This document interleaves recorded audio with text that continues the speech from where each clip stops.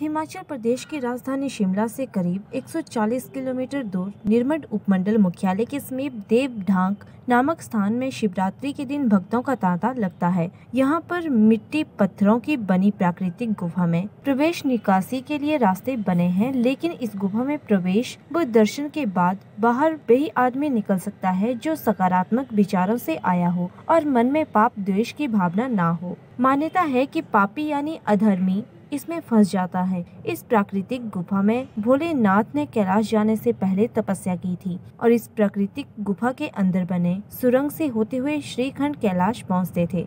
बताया जाता है कि शिवरात्रि के दिन यहाँ आने वाले भक्तों की सभी मनोकामनाएँ पूरी होती है।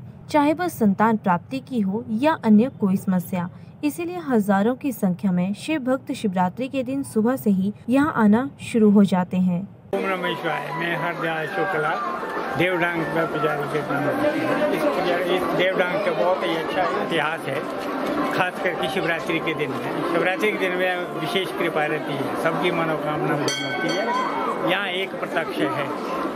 देवडांग की जो गुफा है, दो बड़ी संकरी गुफा है, जो दरवाज़ा है बहुत संकरा है। तो इसमें ऐसा है, जो अच्छे विचार से जो आएगा, वो बड़ी आसानी से अंदर बाहर जा सकता है। कई बुरे विचार होंगे तो ना अंदर जा सकता है, ना अंदर जाके बाहर आ सकता है। उनको बड़ी दिक्कत का सामना करना पड़ता है। कुछ नहीं करके नमस्कार जी, मेरा नाम राजीव शर्मा है। मैं यहाँ बाइल गाँव का स्थानीय निवासी हूँ आज शिवरात्रि के दिन यहाँ पर हज़ारों श्रद्धालु दर्शन आते के लिए आते हैं। कल सोमवार को भी यहाँ रात को जगराता हुआ है और हज़ारों की संख्या में जो है लोग आए हुए हैं। तो आज जो है शिवरात्रि का अवसर जो आसपास के क्षेत्र हैं, जिला कुल्लू शिमला है, मंडी के क्षेत्र, किन्नौर के क्षेत्र के लोग जो है लगभग आठ से दस हज़ार लोग जो है यहाँ दर्शन के लिए आते हैं और उनकी जो है मनोकामना जो भी होती है, वो पूर्ण होती है। नमस्कार जी, मेरा नाम टेक सिंह भंडारी है।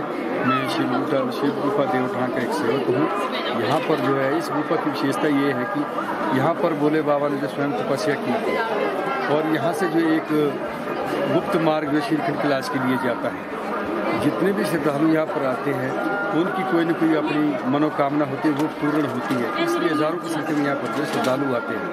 और इस गुफा की और विशेषता ये है कि इसके जो प्रवेश द्वार है, वो संकरे हैं। इसमें जो है पाप आत्मा जो आसानी से प्रवेश नहीं कर सकता है। और चाहे वो जितना मर्ज़ी दुबला पतला पतला हो, वो जो प्रवेश नहीं कर सकता है। पाप आत्मा जो है चाहे जितना मर्ज़ी दुबला पतला वो बाहर भी प्रवेश नहीं कर सकता है। ठीक है।